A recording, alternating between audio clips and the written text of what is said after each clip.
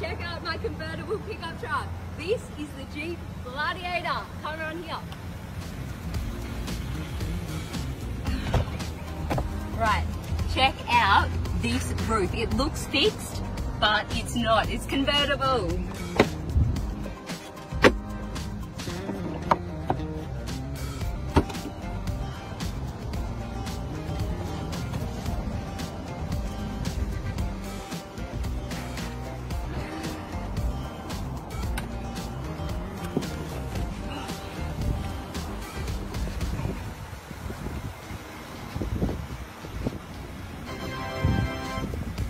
Alright, let me show you what Jeep's packed into the back here. These floor mats down here are topographic maps. Now that's pretty cool. There are so many secret compartments in this car for storage. And this hidden gem has to be one of my favorites. Behind this seat is a Bluetooth speaker and it charges when it's not being used. So it's good to go for a tailgate party. This is a 5 foot truck bed and can carry over 800 kilos. Come around here. Jeep hasn't had a model with a cargo bed on the market since it stopped production on the Comanche in 1992. Alright, come around the front.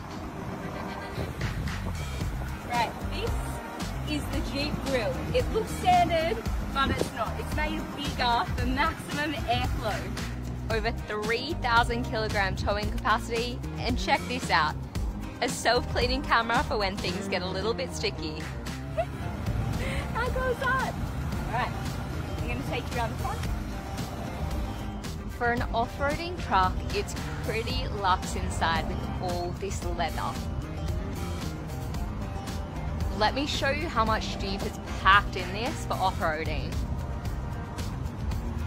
got two gear sticks, your drive and four-wheel drive shifter, locking differentials for rear or front and rear, off-road plus, and you can even disconnect the sway bars. Alright, let's take her for a drive.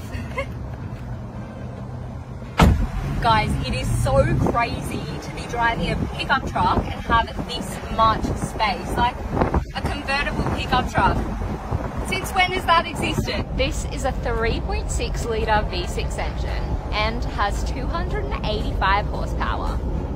It goes from 0 to 100 kilometres an hour in about 7 seconds, so it's no race car, but no one's really buying a Jeep to break any speed records. At $45,000, it's expensive.